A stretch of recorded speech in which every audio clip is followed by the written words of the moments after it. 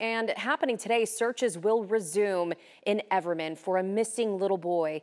Six year old Noel Rodriguez Alvarez hasn't been seen since November. Crews will be conducting ground and drone searches in two different areas. Investigators have paused their search for about a week now in order to go through new data in the case. Earlier this week, the police chief told us he wants to be intentional with where they're looking for.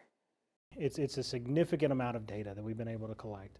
Um, and we have to comb through each and every bit of that data. Um, it's almost like walking into a library and trying to find one word out of a million books, and that's what we're looking for here. Yeah, really puts that in perspective. Last month, CPS questioned Noel's mother about his whereabouts. Then days later, Cindy Singh and her husband and six children left the country. Their last known location was in New Delhi, India.